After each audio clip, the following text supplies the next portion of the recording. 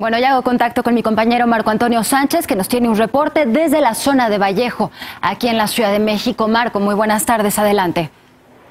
Alejandra, amigos de Foro TV, eh, pues lamentablemente hace unos momentos se registra un incidente aquí en la calzada Vallejo, al cruce Componiente 126, esto es la alcaldía eh, perteneciente a Gustavo Amadero.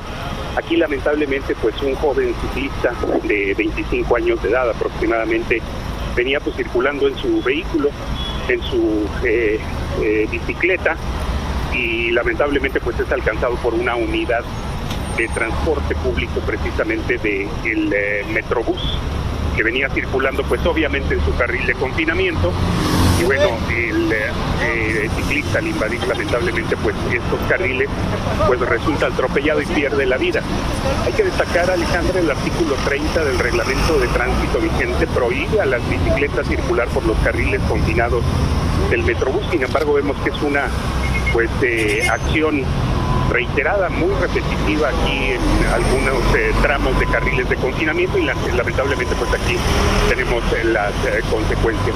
Esto está generando muchos problemas sobre la calzada Vallejo, como vemos aquí en las imágenes de mi compañero Memo Gutiérrez, sobre todo para quien avance en dirección a Tenayuca.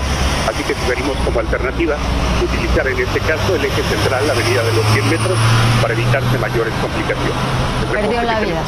Perdió la vida este ciclista, Marco, entonces, confirmado. Sí, efectivamente.